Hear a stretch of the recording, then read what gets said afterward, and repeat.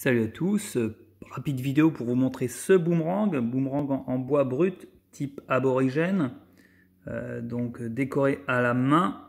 C'est un boomerang de déco, que ce soit clair entre vous et moi. C'est un boomerang en bois brut qui donc euh, peut potentiellement être très fragile.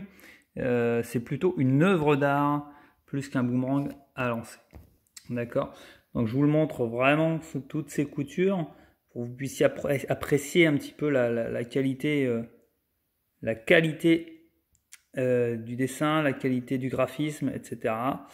Euh, il y a quatre exemplaires de ce boomerang.